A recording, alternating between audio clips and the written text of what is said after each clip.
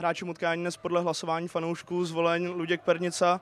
Ludku, gratuluju, byl to pro vás první zápas od začátku utkání od Českých Budějovic. Dal jste gol, ale přece jenom nekazí to trochu ta remíza? Jak říkáte, máte pravdu.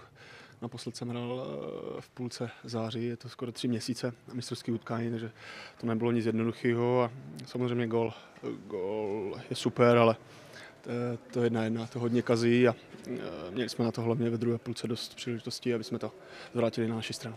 Když se vrátíme k té golové situaci, překvapilo vás, jak tam míč propadlo, protože to vypadalo, že už ho bude některý z vlastně z hostujících hráčů odehrávat. No, tam byl vlastně jeden eh, náš hráč a jeden teplický v souboji, nějak to propadlo, ani nevím, kam mě to trefilo, jestli do kolene a nějak se to tam procedilo Grigarovi mezi nohama snad, nebo ani neviděl jsem ten gol ani.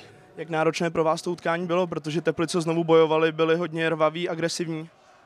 Hodně těžký, hlavně pro nás eh, vzadu, když jsme chtěli přečíslovat, tak jsme tam hráli s Brábou jeden na jedno na Kubu Řeznička a Mareše, takže uh, oba dva siloví útočníci, tahoví, rychlí, takže nic jednoduchého. Máte za sebou podzim, který jste ukončili na druhém místě. Jak ho budete hodnotit? Tak uh, druhý místo 37 bodů, jestli se nepletu, nebo 38. Velká ztráta na Slávii, uh, takže ani nevím, jak to hodnotit, uh, abych moc spokojený nebyl. Děkuji vám za hodnocení. Prosím.